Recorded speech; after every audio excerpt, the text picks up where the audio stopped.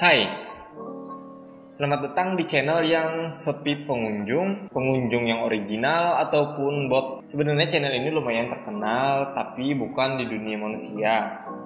Sudah gini curhat. Kali ini Sobat Honorer mau mereview sebuah smartphone yang sempat viral di awal tahun 2020 tadi. Walaupun agak terlambat, tapi nggak apa-apa lah ya.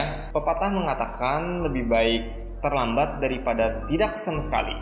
Terus Gimana dengan yang tidak sama sekali? Oh iya, kali ini kita mencoba konsep baru ya sob, supaya nggak di komen kaku terus. Kalau dengan konsep baru ini masih kaku juga, mungkin kami harus berpikir mengganti diri saya untuk menjadi diri saya, atau dia, atau mereka. Back to topic. Kali ini Sobat Honorer mau mereview Realme 6 Pro yang sudah kami pakai selama 2 bulan. Ini dia HP-nya. Eh, mana HP-nya? Oh ini nih. Ini dia HP-nya. Tapi sebelum itu, seperti biasa, check it roll.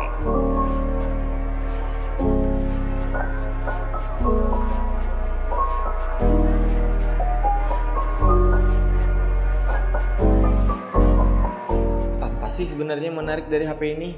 Hmm, banyak sih sebenarnya sob. Kita awali dengan desain body dulu mungkin ya. Body pada Realme 6 Pro ini terbuat dari bahan plastik pada framenya sob. Dan pada bagian belakangnya tertulis di GSM Arena memakai gelas, tapi nggak ada keterangan sih dilindungi oleh apa. Jika ada yang tahu mohon dikoreksi ya sobat. Bagian belakangnya ini menurut kami lumayan menyilaukan mata karena ada bias cahaya yang membentuk petir yang nggak norak juga sih menurut kami. Pada sisi bagian depannya sudah dilapisi oleh Gorilla Glass 5 sob. HP ini memiliki panjang dan lebar 163,8 x 75,8 dan ketebalan 8,9 mm dengan berat 202 gram. Enak sih saat digenggam, terasa mantap gitu. Tapi menurut saya agak gendut nih HP. Body shaming! Suara dalam hati. Astaga, aku berdosa banget. Layar pada HP ini beresolusi 1080 x 2400 pixel dengan aspek rasio 20 banding 9 dengan luas layar 6,6 inch. Bagi kalian penikmat game atau yang suka nonton streaming, HP ini enak banget sob. Lega banget layarnya ditambah dengan sudah mendukung teknologi 90Hz walaupun bukan AMOLED, tapi kalian sudah termanjakan dengan kualitas layar IPS di HP ini sob. Layarnya sih sudah mantap, apalagi ditambah sudah support 90Hz. Saat scroll-scroll home screen, smooth banget deh rasanya. Tapi, ada tapinya nih, Nanti kita bahas lebih lanjut. Beralih kita ke mesin dari Realme 6 Pro ini sob. Realme 6 Pro ini menggunakan prosesor yang sampai saat ini masih dipakai di Realme 7 Pro yang paling baru. Tidak lain dan tidak bukan Snapdragon 720G dengan fabrikasi 8 nanometer dipadukan dengan RAM 8GB dan ROM 128GB dengan Android 10 yang dibalut Realme UI. Ini adalah perpaduan yang Iron Man banget sob untuk memenuhi kebutuhan sehari-hari dalam bermultitasking dan bermain game, HP ini sudah lebih dari cukup. Bermain PUBG bisa disettingan smooth ultra, kalau mau smooth extreme tinggal pakai GFX aja sob. Kalau kalian ingin tahu skor Antutu dan Geekbench-nya, kalian bisa buka channel Jagat Review. Di situ detail banget sob pembahasannya. Nah, ini nih yang menarik. Snapdragon 720G ini kestabilan kinerjanya mantap banget. Ini prosesor kencang untuk kelas mid-end tapi juga hemat daya. Sesuatu yang mustahil seperti hubungan kamu dan dia, sob. Oh iya, kembali ke layar yang 90 Hz tadi. Saat berada di game, Black Desert Mobile yang ser untuk saat ini sering saya mainkan, HP ini memang sanggup berjalan di 90 Hz. Tapi saat HP ini mulai hangat-hangat kuku yang bisa memasak hintalu, di situlah kekacauan terjadi. FPS yang 90 Hz turun drastis, bisa sampai patah-patah lah. Entah apa yang merasuki Realme 6 Pro ini, saya pun tak tahu, tak tahu. Tapi itu yang lumayan mengganggu saya sih selama ini. Kita ke bagian sumber daya. HP ini dibekali dengan baterai sebesar 4300 mAh yang mana ini awet banget sob. Di pemakaian saya yang kalian tahu sangat ekstrim pun, HP ini masih bisa bertahan sampai sore. Bahkan bisa sampai mau tidur baru saya cas ditambah dengan charger bawaannya yang sudah mendukung VOOC 4.0. Bisa menyemburkan daya sebesar 30 watt dengan begitu kencangnya. Pengisian dari 0 sampai 100% membutuhkan waktu sekitar kurang dari 1 jam. Oh iya, sudah USB Type-C juga sob. Mungkin dalam hal pengisian daya HP ini kencang sob, tapi tidak dengan speakernya yang cuma mono, belum stereo. Sangat disayangkan sih. Suaranya kencang dan nyaring. Syukurnya masih tersedia audio jack di HP ini sob. Berikut sampel audionya sobat.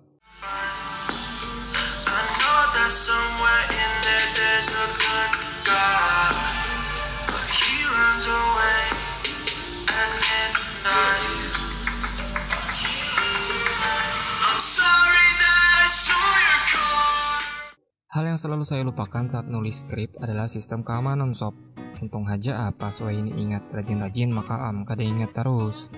Sistem keamanan di HP ini ada fingerprint dan face unlock yang menurut saya lumayan cepat. Penempatan fingerprint pun digabung dengan tombol power.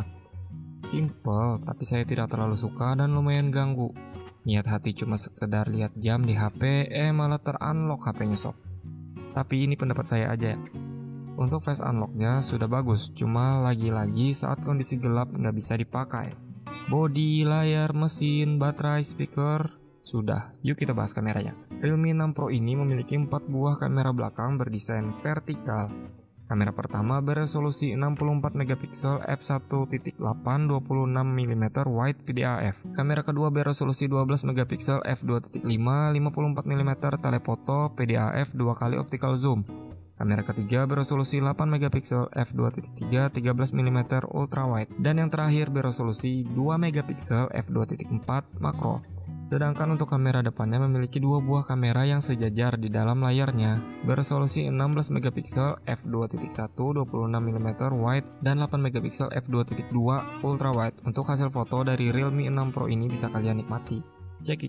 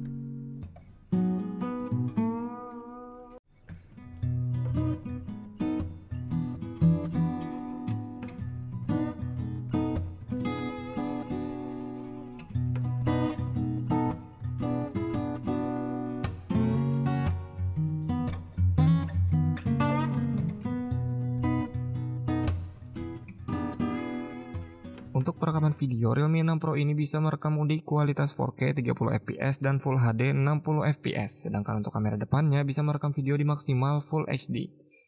Ada juga mode slow-mo.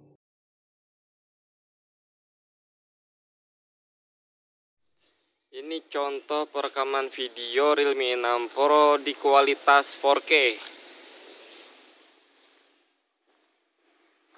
Ah, masih ada stabilizernya sih sob tapi kayak patah-patah gitu sih gambarnya nggak tahu hasilnya nanti lah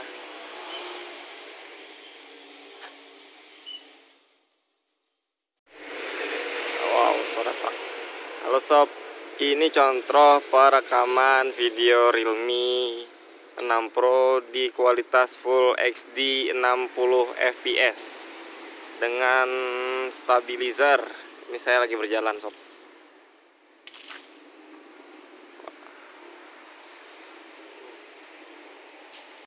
sob ini contoh perekaman kamera mukanya di kualitas 1080 nah, di kondisi low light ini sob di dalam ruangan saat malam. Lumayan terang sih. Dan ini nggak bisa berpindah mode ke lensa wide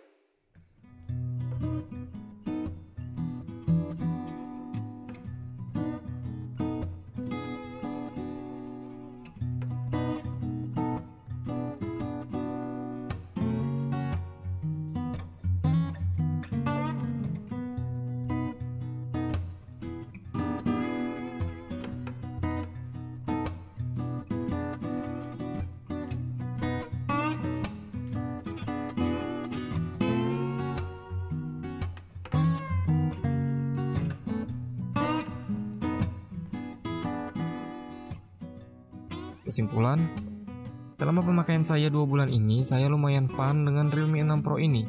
Performa yang tidak mengecewakan, daya tahan baterai yang mantap, serta kamera yang menurut saya sudah lumayan cukup untuk memenuhi kebutuhan saya yang sekedar foto-foto kegiatan dan dokumentasi aja. Untuk harga 4,2 worth it lah. Kalau ada pertanyaan, apakah mending Realme 6 Pro atau Realme 7 Pro? Saya akan menjawab sesuaikan kebutuhan dan budget sobat aja. Kalau saya sih masih yes dengan Realme 6 Pro. Alasannya jelas hemat budget. Hehehehehehehehehe. Ya, gitu aja lah review Realme 6 Pro kali ini yang didasarkan pada pengalaman saya yang sudah bersama-sama selama dua bulan ini. Kami sudah semua seliur, tidur bareng, boker bareng. Ya, tetap pisahkan lah Jangan lupa like, share, dan subscribe kalau kalian mau. Kalau nggak mau, harus mau. Titik nggak pakai koma. Saya Chandra dan Hasbi yang mengakhiri video ini dan stay idiot.